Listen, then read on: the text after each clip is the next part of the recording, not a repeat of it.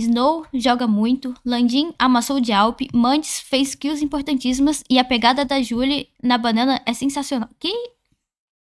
Que isso, cara?